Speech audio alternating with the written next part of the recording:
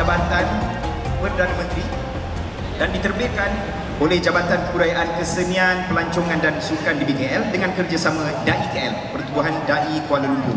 Dan uh, mungkin ada yang bertanya konsep untuk uh, majlis Kuala Lumpur berselawat uh, sempena sambutan tahun baru 2024 ini konsep apa?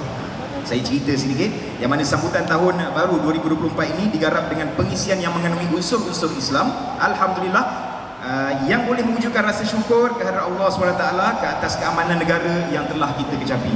Jadi sama-sama kita syukur ke atas keamanan negara kita tidak seperti negara-negara lain. Alhamdulillah, tum alhamdulillah dan hiburan yang akan disediakan juga akan diserapkan dengan nilai-nilai Islam dengan lagu-lagu ketuhanan dan kerohanian yang boleh membuka minda penonton kepada rasa kecintaan kepada agama, bangsa dan negara kita Malaysia. Ikhlas eh? Di mana kumpulan ini akan menyampaikan kosidah-kosidah yang akan menjadi halwa telinga anda pada malam ini. Taat yang sangat uh, penting untuk kita orang beriman.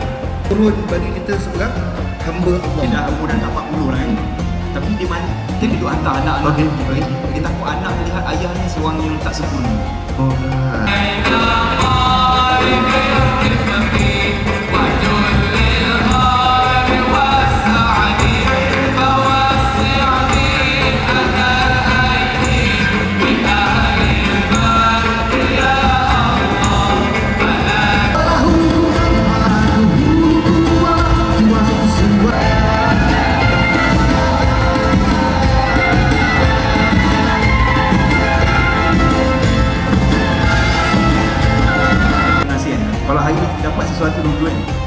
ataupun sampai sekarang saya pergi ke majlis